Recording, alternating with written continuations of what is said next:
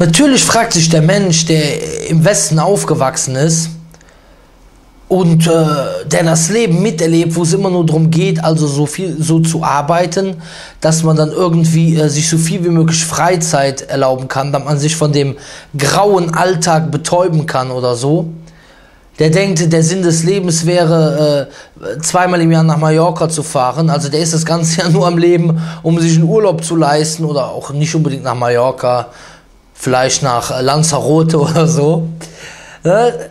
Der denkt natürlich, was soll er für einen Sinn ergeben? Der steht morgen, was soll das Kopf für einen Sinn ergeben? Was soll das für einen Sinn ergeben, wenn die Frau ihre Reize versteckt? Denn er findet es ja gut. Er macht morgens den Fernseher an. Das erste, er steht morgens auf zur Arbeit um 7 Uhr, er macht den Fernseher an. Das erste, was er sieht, schöne Frau, geschminkt, äh, halbnackt und so weiter und so fort. Dann äh, also Werbung, Seife, eine halbnackte Frau. Äh, Auto, halbnackte Frau. Die ganzen Werbung, überall kommen sie mit einer Frau. Also da sieht man schon, wie die Frau hier in der Gesellschaft verkauft wird. Das zum äh, Respekt der Frau gegenüber. Spielzeug, Lustobjekt, sage ich nur. Dann geht er raus aus dem Haus guckt auf die Litfaßsäule, guckt auf die Werbung, was sieht der? Unterwäschenwerbung, nackte Frau.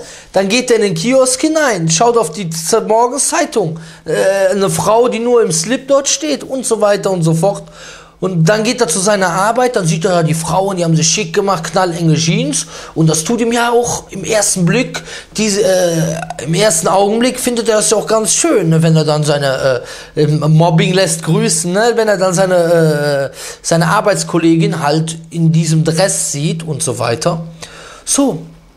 Oder, oder die, äh, sage ich mal, die nicht-muslimische Frau, ne, die, die bei, zum Beispiel, was macht sie den ganzen Tag? Die denkt sich ja, Mensch, was macht, die, was hat die Muslimin für ein Leben? Weil das ganze, das ganze Leben besteht ja bei ihr aus gut aussehen. Steht morgens auf, mindestens eine halbe Stunde vom Spiegel, wo sie Schminke benutzt, ne, was aus Tierversuchen hergestellt worden ist und so weiter. So, warum? Sie muss gut aussehen. Dann zieht sich an, geht zur Arbeit. Wie muss sie da? Da muss sie gut aussehen für die Menschen. Mit zufrieden, damit sie auch jeder bewundert. Dann, was, was, was kommt dann sonst nach der Arbeit? Dann geht sie vielleicht abends einen trinken mit ein paar Freunden, dann muss sich vorher schick machen, gut aussehen. Dann, was noch? Ja, okay, drei, zweimal die Woche auf die Sonnenbank. Warum? Sie muss gut aussehen. Dann, was gibt sonst noch für Hobbys? Ähm, Fitnessstudio zweimal die Woche. Warum? Sie muss gut aussehen. Was haben wir noch? Was, was, was gibt noch für Hobbys? Klamotten kaufen natürlich, ne, weil, warum? Man muss gut aussehen. Und dann gibt es noch, ja, äh, Schminke kaufen, ne, von den Tierversuchen nochmal. Äh, wegen dem Schönheitswahn, also wegen dem Schönheitswahn, will man sogar, also äh, geht man sogar ein, dass man Tiere quält, was ja nicht nötig ist, ne? So, also gut aussehen. Alles dreht sich um gut aussehen. Und natürlich ist es ja nicht verwunderlich, dass dieser Mensch sich dann denkt, ja Mensch, die Muslimin, die muss ja tot unglücklich sein. Weil die hat ja das gar nicht. Weil natürlich, weil diese Frau, die hat ja nichts anderes, als sich das ganze Leben lang nur schick zu machen. Und da denkt sich natürlich, die Muslimin hat nichts vom Leben. Nur sie weiß nicht, dass die Muslimin etwas anderes hat, etwas viel Wertvolleres, etwas Bleibendes. Weil die Schönheit wird nicht bleiben. Und wenn die Schönheit nicht bleibt, werden die Depressionen kommen, wie das bei so vielen der Fall ist. Aber der Glaube zum allmächtigen Gott, der den Menschen wirklich innerlich zufrieden macht, der wird bleiben. Der wird bleiben. Inshallah. So, jetzt, jetzt analysieren wir mal die Situation. Was könnte es für Probleme aufwerfen mit diesem Schönheitswahn? Was könnte es für Probleme aufwerfen? Zum Beispiel Karl-Heinz, der ist seit 20 Jahren mit der Heike verheiratet. Zwei Kinder. Sie sind jetzt beide 40, 45, 30. Und jeden Tag geht er raus und wird von halbnackten, jungen, äh, hübschen Frauen bombardiert. Und seine Frau hat nach zwei Geburten und so weiter, hat natürlich ihr Körper, ihre körperliche Attraktivität etwas nachgelassen. Was passiert? Es passiert das, was in Deutschland so oft passiert. Und ich hoffe, dass Sie in der Lage sind, objektiv zu sein, das, was ich erzähle. Nicht, dass man sagt, nein, also das, was die Muslime sagen, wir wollen den Muslimen kein Recht geben, dass man wirklich mal in der Lage ist, objektiv zu sein, dass man sich mal seine Nachbarschaft anguckt, seinen Arbeitsplatz anguckt und man sieht, was da abgeht. So, äh, natürlich nicht immer, aber immer öfter. Und was sieht man da? Zum Beispiel, was passiert mit diesem Mann, der dann natürlich durch den Anblick von diesen jungen Frauen dann seine Frau als minderwertig ansieht, zumindest was das Körperliche ansieht, der wird abenteuerlustig. Ganz klar. Warum? Weil der Mann, der schaut besonders auf das Aussehen der Frau. Und was passiert dann? Dann passiert es, dann kommt es zu Affären. Dann kommt es zu Affären und durch Affären kommt es zu Scheidungen und zu Scheidungen kommt es zu Scheidungskindern. Sie glauben mir beispielsweise nicht, dass der Mann besonders auf das Äußere achtet. Vielleicht glauben Sie mir nur nicht, weil ich das Ihnen jetzt erzähle und über Islam diskutiere. Aber ich lese mal etwas vor. Das steht in Soziologie kompakt, äh, Studium Sozialwissenschaft. Dort steht auf Seite 15. Untersuchungen von Bekanntschafts- und Heiratsanzeigen ergaben, dass Männer in stärkerem Maße an sexuellen Erlebnissen interessiert sind, die Attraktivität der Frau als zentrales Auswahlkriterium angeben. Und das heißt natürlich, der Mann ist besonders an sexuellen Erlebnissen interessiert und wenn ihm dann besonders und, ist, äh, und das zentrale Auswahlkriterium ist für die Attraktivität der Frau. Und wenn er dann natürlich die ganze Zeit von attraktiven Frauen bombardiert wird, die körperlich attraktiver sind natürlich als seine 50-jährige Frau, die jetzt, Beispiel, die jetzt beispielsweise drei, vier Geburten hatte, dann muss man sich nicht wundern, dass dann, es dann zu den Dingen kommt, wie ich das eben schon gesagt habe. Und bei dieser äh, sexuell aufreizenden Kleidung die angeblich gut für den Menschen sein soll, angeblich, da muss man sich nicht wundern, wenn es zu Affären kommt, wie es ja in Deutschland, wie man gehört, wie gesagt wird, in jeder zweiten Ehe der Fall sein soll. Ne? Und ähm, dazu steht auch in, äh, und das führt natürlich dann zu Scheidungen. Und in Soziologie kompakt steht beispielsweise auch auf Seite 47, eine der Sachen, die zur Scheidung führen, hier wird hier aufgezählt. Gut aufgepasst. Weil, sonst, weil, weil wenn ich das von mir, von meiner eigenen Erfahrung erzähle, was ich beobachtet habe, da ich ja Muslim bin, mir wird man ja wahrscheinlich sowieso nicht glauben wollen. Soziologie Kompakt, Seite 47, als eine der Scheidungsrunde. Frauen haben mehr Vorder- und Hinterbühnen zur Verfügung als früher. Berufstätigkeit, sexuelle und soziale Freizügigkeit. Aha, mehr braucht man ja Mehr braucht man ja dazu nicht zu sagen. Und dass das und, und diese Scheidungen oder Scheidungen, die aus Affären und so weiter äh, passieren, und das ist ja, wie gesagt, in Deutschland ist das ja jetzt, äh, äh also man, man, gucken Sie sich selber, wenn Sie wirklich die Wahrheit wollen, schauen Sie sich selber mal die Statistiken an, wie es im Jahre 1900 war und wie es heute aussieht mit den Scheidungen. Also es ist bestimmt so wie ich das sehe auf der Skala, bestimmt zehnmal so viel.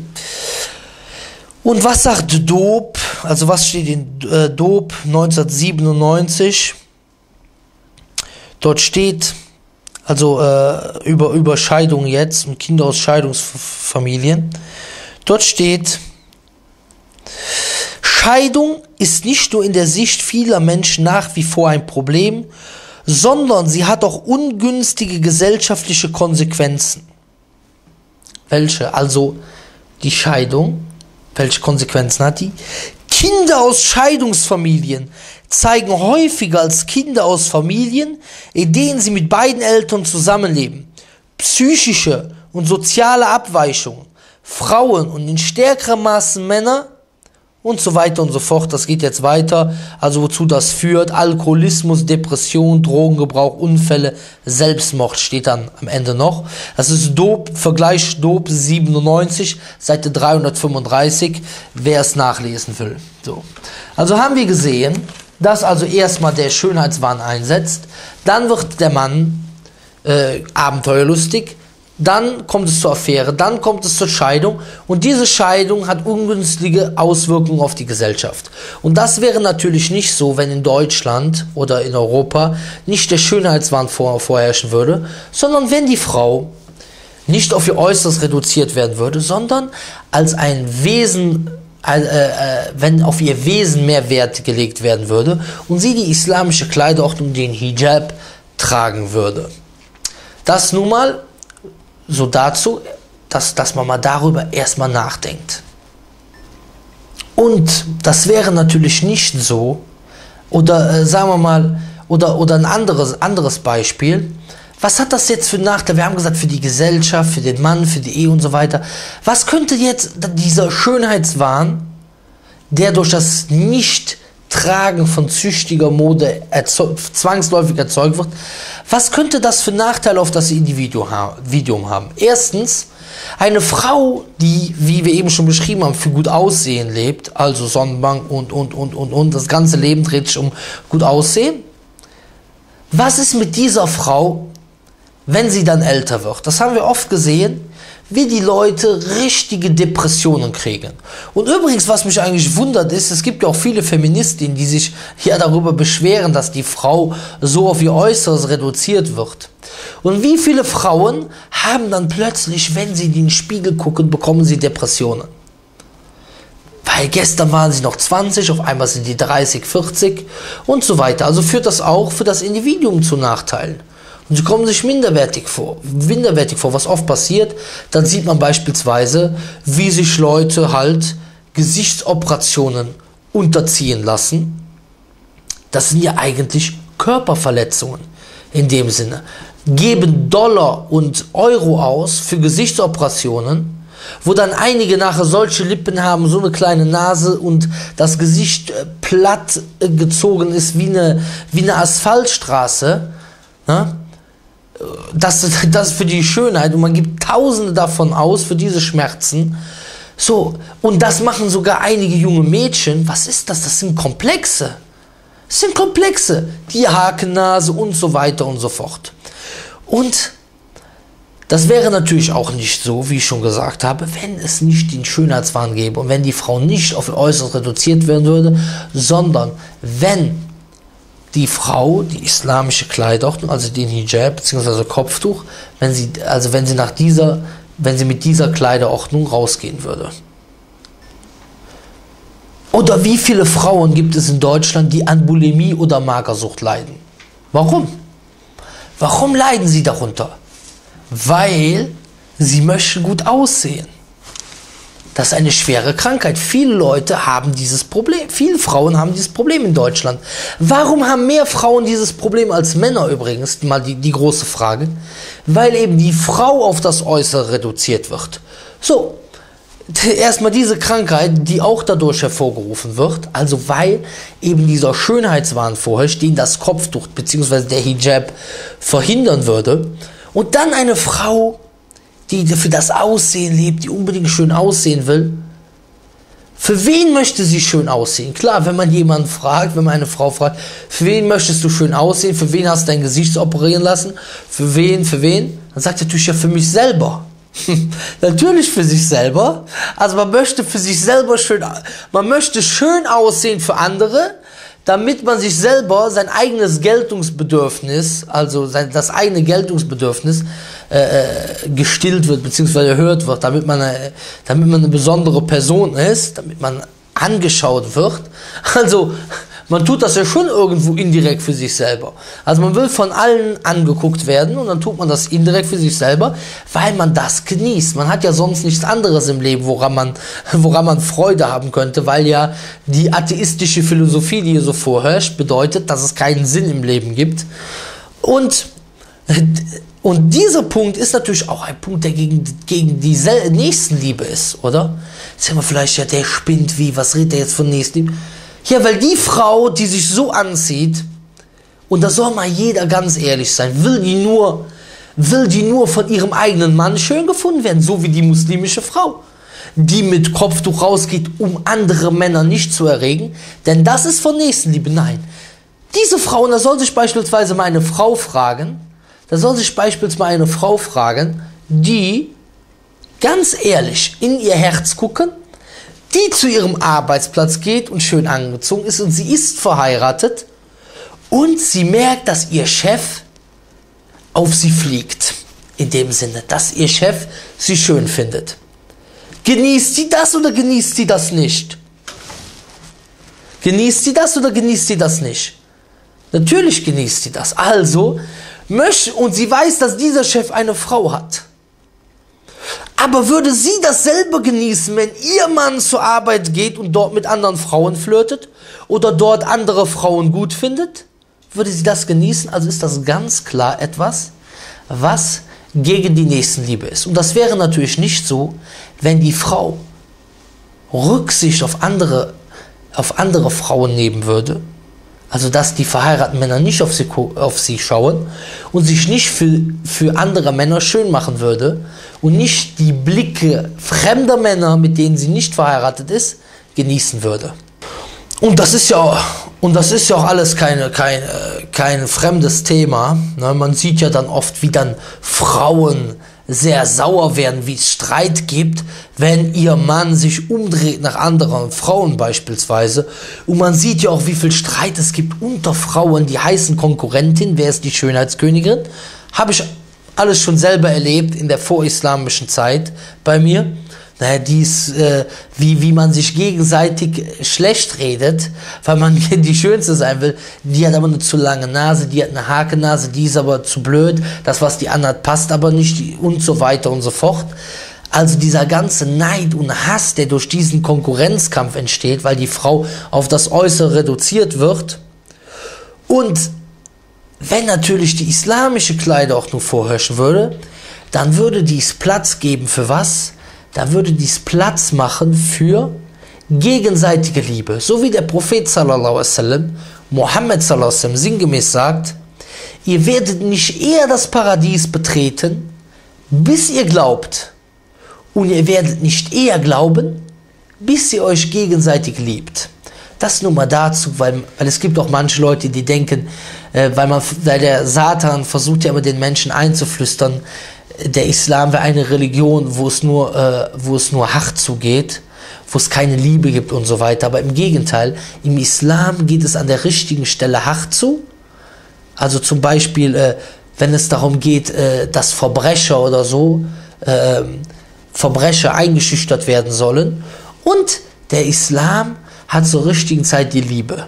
Weil wenn ich eine, äh, äh, weil man, äh, weil, weil, und das ist Weisheit, dass man das Richtige zur richtigen Zeit tut. Das nur mal so neben, das, das nur mal so nebenbei. Nochmal, ich wiederhole diesen, diesen Aussage des Propheten nochmal sinngemäß zum Mitschreiben. Ihr werdet nicht eher das Paradies betreten, bis ihr glaubt. Und ihr werdet nicht eher glauben, bis ihr euch gegenseitig liebt. Dann, dann geht dieser Irrweg noch weiter, dass man dann Leute sieht oder beziehungsweise Frauen äh, sieht, die sich Silikonkissen einpflanzen lassen. Warum das? Das heißt, man ist und natürlich, man wird sich das natürlich schön reden, weil der Satan flüstert einen ja immer die schlechten Taten, setzt einen mit schönste Licht. Man setzt sich Silikonkissen ein. Warum? Wenn man Komplexe hat. Ganz klar, man hat Komplexe mit seinem Aussehen. Warum? Weil man andere Frauen sieht, wie sie beispielsweise eine größere Oberweite haben und dann möchte man mithalten. Konkurrenzkampf, Minderwertigkeitskomplexe und das sieht man dann schon so, sogar schon bei jungen Frauen, und, das sie, und diese, wozu führt das Silikonkissen beispielsweise? Das führt dazu, das führt dazu, dass diese Frau Probleme bekommt mit dem Stillen. Also diese Frau, und wir wissen, dass das Stillen besonders wichtig ist für das Kind, also für das Baby, für den Säugling, dass die Muttermilch das Gesündeste ist, was das Kind bekommen kann und dass Kinder, die nicht gestillt werden, immer eher zu Krankheiten neigen. So, aber diese Frau, gucken Sie mal, wie, gucken Sie mal, wie weit der, der, der dieser Schönheitswahn geführt hat. Diese Frau bevorzugt es aufgrund des Schönheitswahns, bevorzugt sie es, sich ein Silikonkissen einzulassen. Sie bevorzugt es gegenüber dem Stillen des Kindes, was schädlich ist für das Kind. Also wenn man das als äh, logisch be betrachtet, äh, dann weiß ich auch nicht, wo, wo ich lebe. Nur man muss mal darüber nachdenken, weil man ist ja meistens am Schlafen. Man steht eben morgens auf, kommt abends zur Arbeit, dann guckt man sich zwischendurch die Lindenstraße an und man kriegt gar nichts davon mit. Also man ist wirklich, man tatsächlich, man, man setzt die Gesundheit des Kindes aufs Spiel für das eigene Aussehen. Weil, warum? Weil die Frauen ja eben den Ausschnitt zeigen. Und der eigene Mann geht raus aus dem Haus und sieht diese Frauen. Und, das, und dann kann die eigene Frau ja nicht mehr mithalten. Und das wäre natürlich nicht so, das wäre natürlich nicht so, wenn die Frau eine islamische Kleiderordnung tragen würde, wo der Ausschnitt bedeckt ist und wo die, wo die Frau ihre Oberweite nur für ihren eigenen Mann zeigt. Wieder etwas von Nächstenliebe und natürlich ein Nutzen für die Frau, zu, wegen der ganzen Komplexe und so weiter, für das Kind und die Kinder, wer ist das? Die Kinder sind die Bausteine der Gesellschaft, also für die Gesellschaft. Und dann sieht man zum Beispiel auch, dass Leute heutzutage, viele Frauen, die wollen heutzutage, die wollen heutzutage nicht mehr viele Kinder haben. Warum? Weil die sagen, wenn man zu viele Kinder bekommt, ja, dann, und man will die stillen, dann lässt ja der Busen nach und dann lässt der Körper nach. Und was passiert dadurch wieder? Erstmal, das Kind eigentlich, wer, wer es wirklich richtig spüren kann und wirklich noch menschliche Eigenschaften besitzt, der weiß, dass das Kind eigentlich eine der schönsten Gaben des allmächtigen Gottes an den Menschen sind, mit denen er viel Freude hat. Aber da diese Menschen halt leben und keine Verantwortung übernehmen wollen, sagt man, nein, ich möchte lieber zweimal im Jahr Urlaub machen irgendwo. Auf Helgoland oder, oder äh, auf dem Ballermann und so weiter. Und deswegen kann man sich nicht so viele Kinder und dann lässt er auch die Figur nach. Und, und was ist dann, was sieht man heutzutage in Deutschland? Man weiß ganz genau, dass eben durch diese geringe Geburtenrate irgendwann die Renten nicht mehr gesichert sind. Oder dass man sieht, dass alte Leute, die beispielsweise ein oder zwei Kinder haben, dann später niemanden haben, der sich um sie sorgt. Und das ist natürlich, das wäre natürlich wieder nicht so, wenn wir ganz zurückgehen. Wo hat das alles begonnen? Das hat alles begonnen, dass die Frau den Konkurrenzkampf mitmachen muss. Und das wäre nicht so, wenn sie den Hijab, wenn die Frauen den Hijab tragen würden. Und dann trifft man ja auch noch auf Menschen, die dazu einladen. Sie sagen, oh, du siehst ja gut aus, du musst doch zeigen, was du hast, damit alle Menschen glücklich sind. Wir haben eben schon gesehen, dass es eigentlich nicht zu Glücklichsein führt, sondern zu Unzufriedenheit. Der, heiratete, der verheiratete Mann ist unzufrieden mit seiner eigenen Frau, weil Leidenschaft entsteht. Die Frau äh, wird irgendwann Depressionen kriegen, die andere Frau setzt sich Schmerzen aus mit Operationen, man kann keine, äh, man will keine Kinder haben, man will gar nichts haben, man will nur einen Urlaub und so weiter und so fort. Und leider die meisten Menschen, die schauen in den Fernsehen, die glauben alles, was man im Fernsehen sieht, wenn da gesagt wird, ja, du bist ja schön, man muss mit seinen Reizen um sich werfen, die Frau muss mit ihren Reizen um sich werfen, dann glaubt das natürlich auch der Otto Normalverbraucher und sagt sich, ja, Richtig. Zum Beispiel, man sieht ein Fest, das man Fest der Liebe nennt, wo es hauptsächlich um Drogenkonsum gibt, äh, geht, wo nachher Tausende im Krankenhaus liegen. Man sagt, das ist Fest der Liebe, dann sagt er, das ist Fest, dann sagt der Otto Normalverbraucher, das ist ein Fest der Liebe. Obwohl es eigentlich ein Fest der Selbstzerstörung ist, an dem viele Menschen vielleicht auf der Ecstasy-Pille kleben bleiben und danach nur noch mit dem Kopf am Wackeln sind, äh, wo viele Menschen vielleicht sogar sterben, wo viele Menschen sich mit AIDS infizieren und so weiter, aber sagt, nein, das ist ein Fest der Liebe. Dabei ist ein Fest, der, ein Fest des Verrücktwerdens und der Selbstzerstörung, das nur mal so nebenbei am Rande. Aber wenn der Fernseher jetzt sagt oder die Leute, die dazu aufrufen, zu der zur Schaustellung des nackten Körpers oder beziehungsweise zu, zum, zum Schönheitswahn. Was, was könnte das, was hat das für Einflüsse auf die? Das könnte ja, im ersten Moment ist es ja für denjenigen oder beziehungsweise diejenige, die relativ oder die schön aussieht, ein schönes Gefühl, bis sie dann zwangsläufig mit den Jahren etwas älter wird und dann die Depressionen kommen, wie wir schon genannt haben. Aber wie ist es denn mit der Person, die nicht so schön ist? In den Schulen sieht man beispielsweise Markenklamotten, wie Kinder gehänselt werden. Ja, was hast du an? Was hast du für Klamotten? Ah, das ist ja alt, ach, das ist out und so weiter und so fort. Aber was hat das Aussehen, der Schönheitswahn, der natürlich für die Frauen wenn also sie Hijab tragen würden, also was natürlich beendet werden würde, dieser Schönheitswahn, dass die Frau halt eben nicht nur auf ihr Äußeres reduziert, wo, dann würde die Frau eben nicht nur auf ihr Äußeres reduziert werden. Was hat dieser Schönheitswahn für eine Wirkung auf die nicht so schönen Frauen? Oder die für, also die Norm der Menschen nicht so schön aussehenden? Die beispielsweise Hakennase oder die Dicke oder die Dürre und so weiter und so fort. Da sehen wir, das führt zur Diskrimi Diskriminierung dieser Menschen. Glaubt man nicht, natürlich, weil ich das sage, weil wenn ich das sage als Muslim und man hört das, dann sagt man natürlich, ja, ach, die Muslime stimmen, wie kann der denn recht haben, dass das Kopftuch, dies, was wir so, was wir so, äh, was wie ein Fremdkörper in der deutschen Gesellschaft wirkt, dass das einen positiven Einfluss auf Individuum und Gesellschaft haben könnte. Ach, das kann doch gar nicht sein. Ich sage, ich sage Ihnen, dieser Schönheitswahn führt zur Diskriminierung der Menschen, die nicht so schön aussehen. Okay, mir glauben Sie nicht, vielleicht glauben Sie dem Buch Soziologie kompakt auf Seite 174.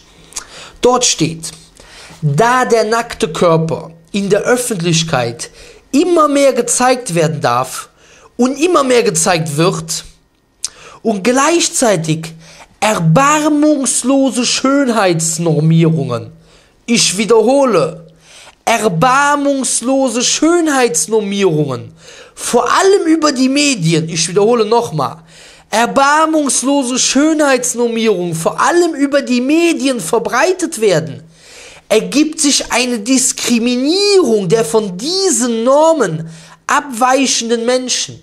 Aha.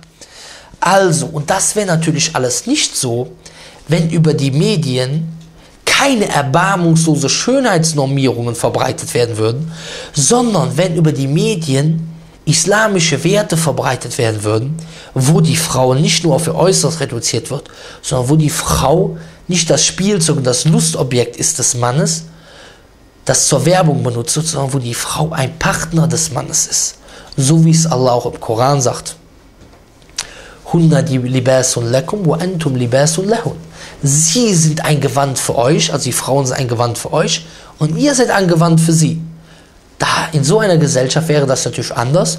Das zeigt, dass der Hijab die Diskriminierung von Menschen vermeiden würde. Und das wäre etwas, wozu eine Gesellschaft aufrufen sollte. Und dann sieht man natürlich noch Frauen, die so lange in den in die Sonnenbank, äh, unter die Sonnenbank legen, bis sie aussehen wie ein Toastbrot. Hautkrebs lässt grüßen. Wir wissen ja, dass eigentlich einer der, ähm, einer, ein Sinn des Kopftuchs auch ist, die Frau vor sexuellen Belästigung zu schützen. Und man soll sich mal überlegen, jetzt vor sexuellen Belästigung, nicht vor rassistischen Belästigungen. Wenn jetzt zwei Zwillingsschwestern, die völlig identisch sind, sie gehen in einen Park. Die eine ist gekleidet mit der berühmten Mode Ausschnitt bis zum Knie und Saum bis zum Kinn, also sehr sexuell aufreizend gekleidet. Und die andere hat die islamische Kleiderordnung an. Wer, also, und dort stehen dann einige Jugendliche, wen würden sie eher sexuell belästigen? Natürlich diejenige, die sexuell aufreizend gekleidet ist. Und man sieht beispielsweise in den USA, dass dort 1996 laut Statistik des FBI 2170 Vergewaltigungen stattfanden. Pro Tag. Pro Tag 2170 Vergewaltigungen. Wenn dort, und man weiß, dass bei Vergewaltigungen der Mandant des Täters immer versucht zu äh, darauf aufmerksam zu machen oder seinen Mandanten zu verteidigen, indem er darauf aufmerksam macht, dass diese Frau ihn eventuell versucht hat, sexuell zu provozieren. Und, und was ist eine sexuelle Provokation? Die Kleidung beispielsweise. Und deswegen kann man sich natürlich vorstellen, wenn die Frau nicht sexuell provoziert und die islamischen Normen der Kleidung und des Verhaltens praktizieren würde, dass dann praktizieren würde. Also nicht, dass sie Muslimin ist, sondern wenn sie den Islam praktizieren würde ja, dass dann die diese, diese Raten natürlich runtergehen würden. Und das ist natürlich eine Sache, die ganz, also die man, die ganz logisch ist. Jetzt könnte natürlich noch jemand fragen, wenn also unehelicher Geschlechtsverkehr, der ja bewiesenermaßen schädlich ist für die Gesellschaft, wie zum Beispiel uneheliche Kinder, alleinerziehende Mütter und so weiter, dann könnte jemand fragen, warum muss der Mann kein Kopftuch tragen? Als allererstes haben wir gesehen in Soziologie kompakt, dass der Mann sich leichter von den äh, sexuellen Reizen, von, also dass für ihn das Hauptauswahlkriterium eben äh, die äußeren Reize sind. Das als erstes. Und äh, zweitens weiß man, dass unter den Frauen mehr Eifersucht und Schönheitswahn herrscht. Man braucht sich nur anzuschauen, wie viele Kosmetikartikel es für Männer und wie viele es für Frauen gibt. Dann muss man sagen, dass es für Männer andere Pflichten gibt, wie zum Beispiel Bad, wie zum Beispiel, also verschiedene andere Pflichten des Äußeren.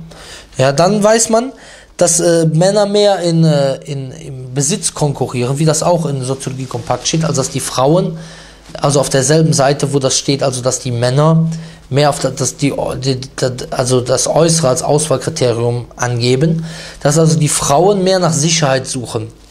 Also deswegen zum Beispiel darf ein Mann kein Gold tragen.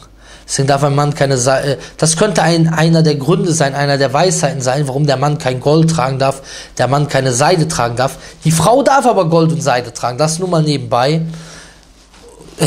Falls nachher jemand auf die Idee kommt, über die Rechte des Mannes im Islam zu reden oder so.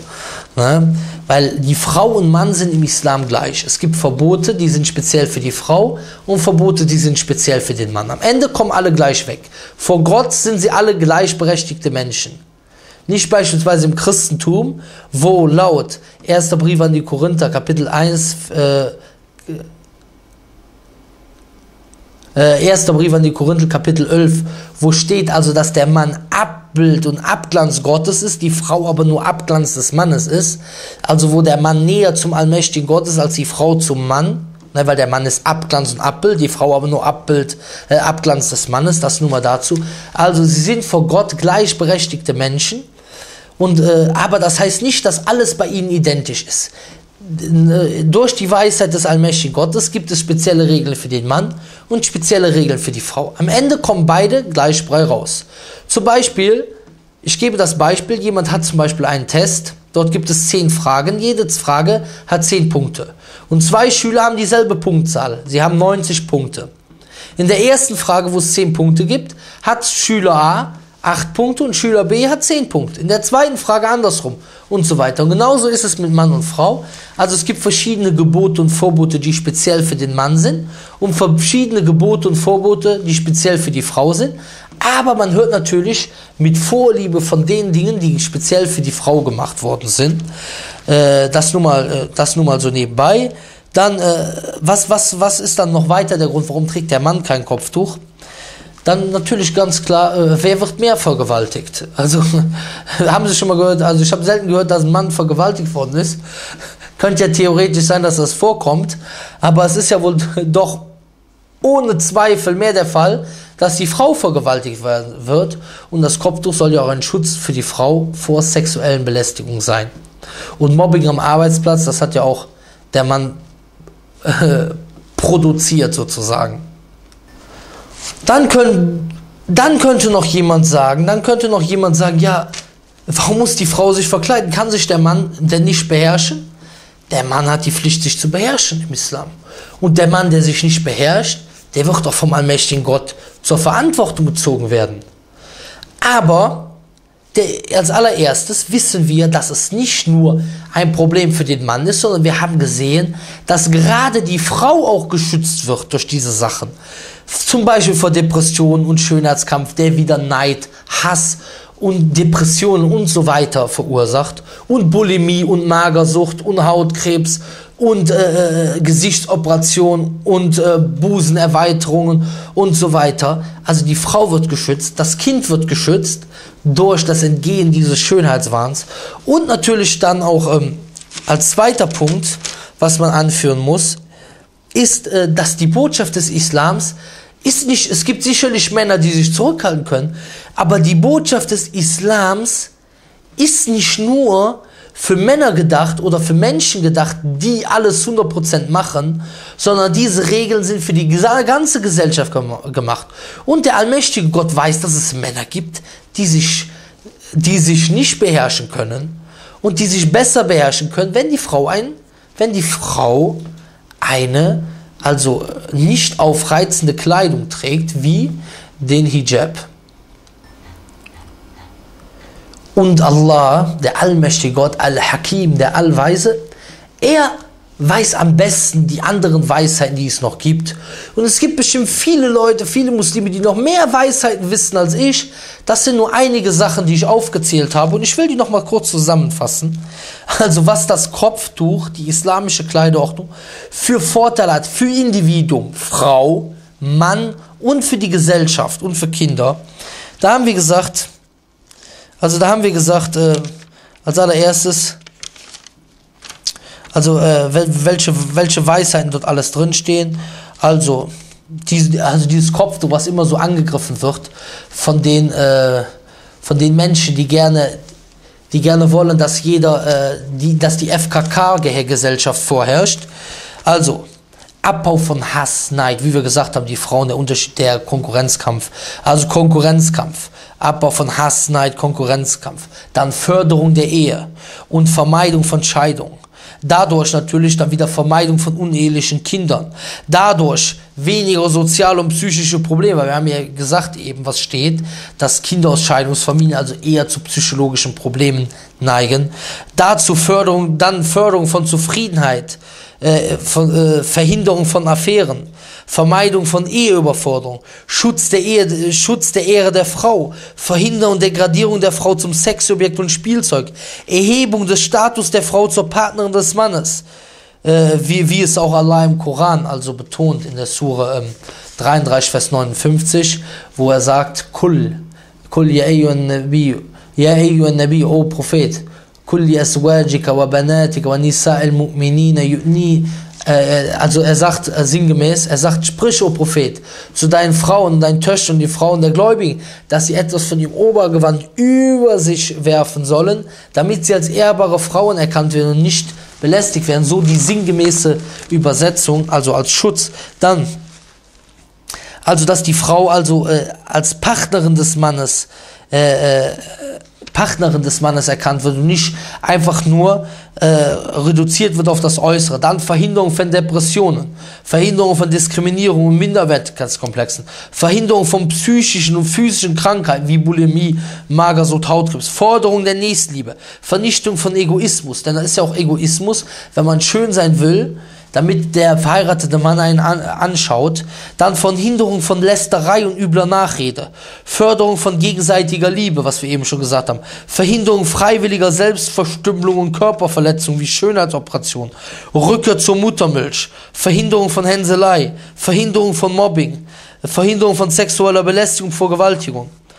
Also, und das sind jetzt, wie gesagt, nur die Punkte, die ich aufgezählt habe. Und wie gesagt, der allmächtige Gott weiß am besten, welche, welche Weisheiten alles noch dahinter stecken. Und es gibt sicherlich noch viele Muslime in Deutschland, die mehr Weisheiten kennen als ich. Jetzt ist die letzte Frage, wenn man diese, wenn man diese ganz, also die letzte Frage, wenn man diese ganzen Vorteile des Vorkopftuchs bzw. des Hijab sieht, wie kommt es dann, dass so viele Leute dagegen kämpfen?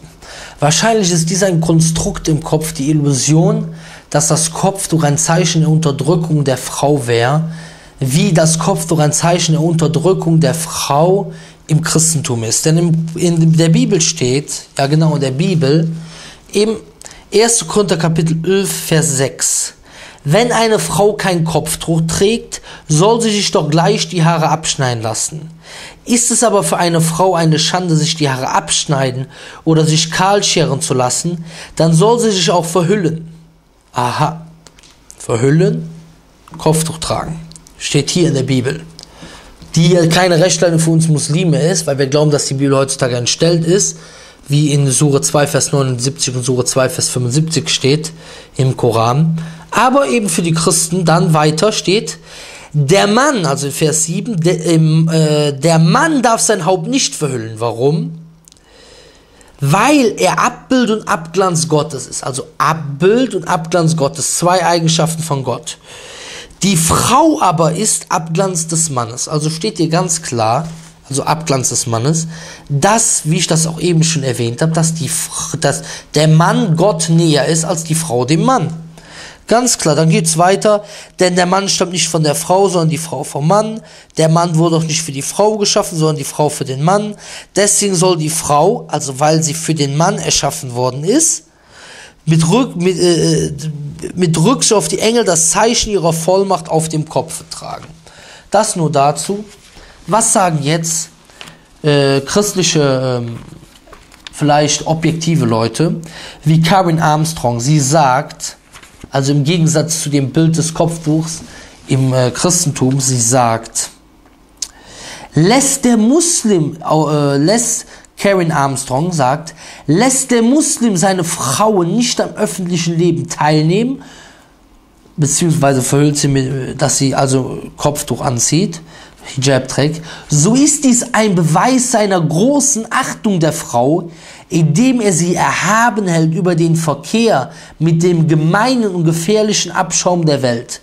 Jetzt schreibt sie weiter, es gibt genügend Zeugnisse dafür, dass die westlichen Christinnen, die sich in Jerusalem während der Kreuzzüge niederlassen, eine erhabene Stellung genießen durften, im Gegensatz zu den Europa lebenden Frauen, die zu jener Zeit den, des Frauenhasses, äh, die zu jener Zeit des Frauenhasses nichts genießen konnten.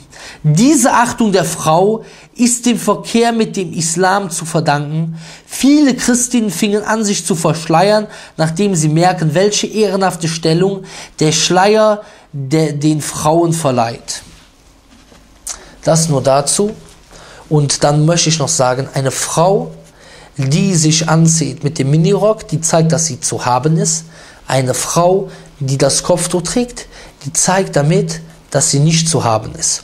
Und eine Frau, die das Kopftuch haben will, in meisten Fällen ist sie nur unzufrieden mit ihrem Mann und möchte zu haben sein. Aber die Frau, und das ist auch oft ein Fehler der muslimischen Kultur, nicht des Islam, dass äh, oft versucht wird, die Frauen zur Ehe zu zwingen, was laut des Propheten sallam, äh, zu einer ungültigen Ehe führt. Denn es ist im Islam nicht erlaubt, eine Frau zur Ehe zu zwingen wie der Prophet sallam auch gesagt hat. Und wenn also äh, die Ehen schon von vornherein, also äh, und nur die Frauen aus solchen Ehen, die wollen dann nachher das Kopftuch ausziehen, weil sie für andere Männer interessant werden wollen. Aber die Frau, die Islam verstanden hat, wir haben viele gesehen, die sind glücklich mit ihrem, mit ihrem Kopftuch bzw. Hijab. Ich sage dieses Wort, ich hoffe, dass äh, ich sage diese Worte und ich hoffe, dass sie auf offene Ohren, offene Herzen treffen und äh, dass sich die Muslimen Gedanken darüber machen, ähm, dass sie vielleicht auch bald das Kopftuch tragen, nicht für mich, nicht für ihren Vater, sondern für den allmächtigen Gott und dass sich diejenigen, die immer gegen das Kopftuch kämpfen, vielleicht überzeugen lassen. Und ich bezeuge, dass es keinen Gott gibt außer Allah, dem Allmächtigen. Und ich bezeuge, dass Mohammed sein Diener und Gesandter ist. Sallallahu alaihi wasallam. Subhanakallahumma bihamdik. Ashadu an la ilaha illa ant. Astaghfiruka wa atubu ilaik.